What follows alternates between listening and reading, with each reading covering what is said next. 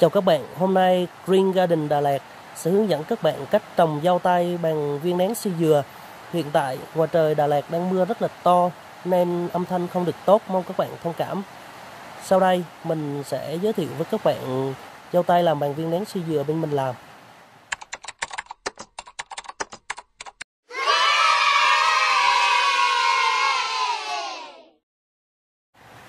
Đây là dâu ngó làm bằng viên nén siêu dừa bên mình. Mình sẽ nhổ cho các bạn xem nhé. Đây là giống nhật Sachinoka. Và sau khi ờ, bên mình cắt từ mẹ và ủ thì nó ra rễ như thế này thì mình mới xuất đi cho khách. Và cây như thế này thì mình gửi đi cho khách thì mình đảm bảo ừ, cây về trồng rất là an tâm. À, bây giờ mình sẽ nhổ một vài cây ngó để hướng dẫn các bạn cách trồng nhé.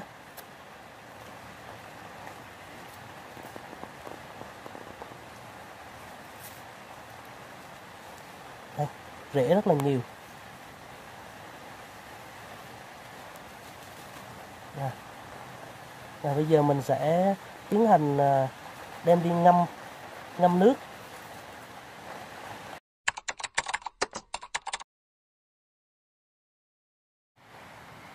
Giờ mà bây giờ mình tiến hành à, ngâm viên nén sơ dừa nhưng mà trước khi ngâm thì à, mình sẽ giới thiệu với các bạn đây là chai trico trico thì nó có hai loại trico nước và trico bột.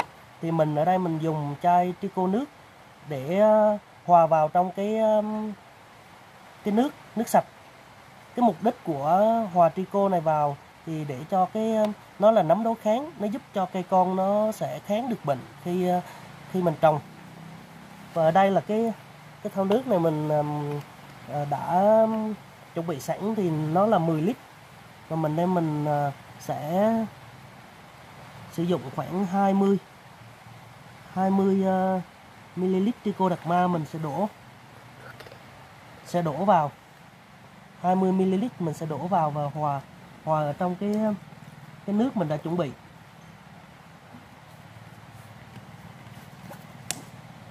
Rồi mình sẽ bỏ cái mình sẽ khuấy khuấy đều và bỏ cái cái viên nén vào nhé ngâm ngâm luôn cả lá luôn ngâm luôn cả lá luôn.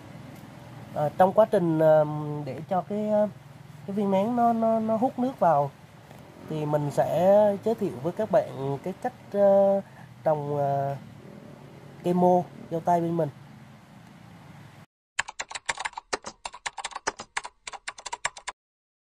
Giới thiệu với các bạn đây là cây mô bên mình mới trồng được 3 ngày.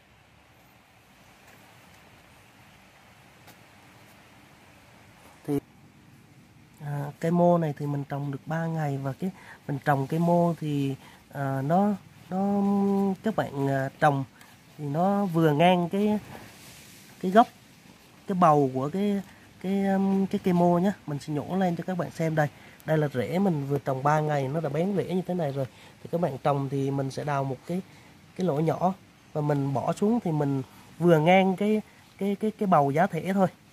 Thì nó sẽ không lấp hạn chế lấp ngọn nha nếu lấp ngọn thì cây nó sẽ dễ bị dễ bị chết.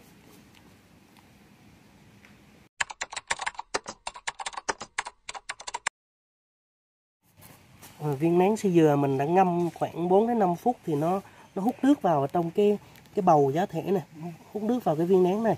Thì cái ờ, thao tác đầu tiên thì ờ, mình sẽ rút cái cây tâm, rút cây tâm ở phía trên.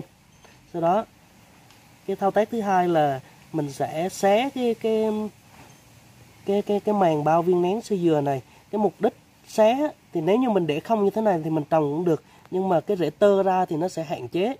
À, nếu mình xé ra được á, thì cây nó sẽ phát triển rễ nó sẽ phát triển tốt hơn nó sẽ ra rễ tơ nhiều hơn.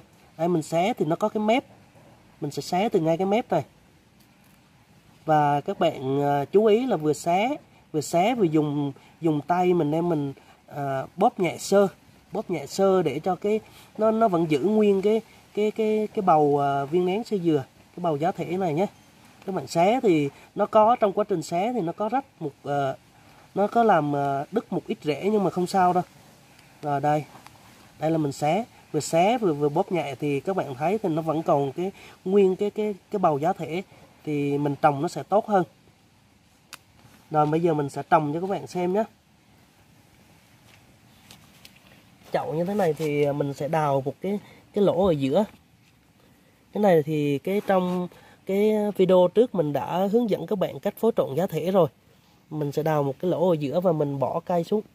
Mình bỏ cái cái cái bầu à, bầu viên nén xuống. Và mình đem mình lắp thì mình cũng lắp vừa vừa bằng cái cái cái bầu, vừa bằng cái bầu cây thôi.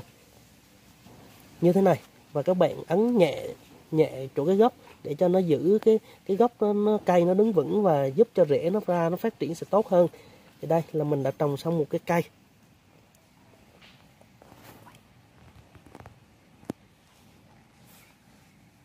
Mình đã xé uh, cái bầu uh, cái màng uh, bao bên ngoài uh, cái bầu uh, xi dừa.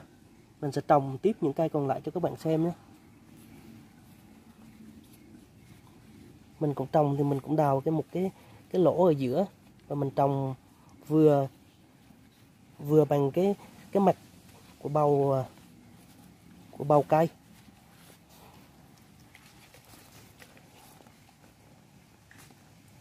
Tâm, mình lấy tâm ra nhé rồi mình xé, mình vẫn xé như vậy. Mình bỏ bớt cái lá nào già đi, nó già già, rồi mình vừa xé, mình vừa bóp thôi. Thì cái này rễ nó ra nhiều thì các bạn xé nó đem nó nó đứt một vài rễ thì nó cũng không sao.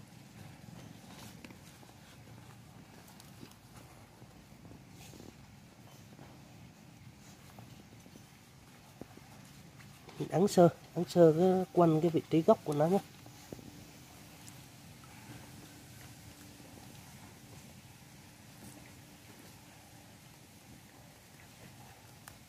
Ừ. Mình trồng tiếp theo nhé không cho cây nó mình trồng không lắp cái cái ngọn của cây. À, vừa bằng cái cái bầu cái bầu giá thể cây thôi. Đây nó như thế này. Nó vừa bằng thôi nhé. Ấn sơ cái gốc này Đó, như vậy là đã xong rồi. À, mình sẽ trồng tiếp theo các bạn nhé.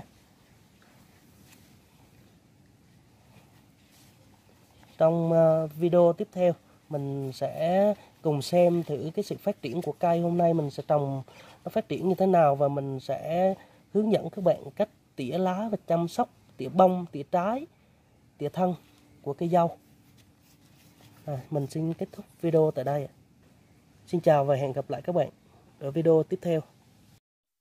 Cảm ơn các bạn đã theo dõi. Tiếp tục ủng hộ chúng mình bằng cách like và subscribe kênh Green Garden Đà Lạt nhé.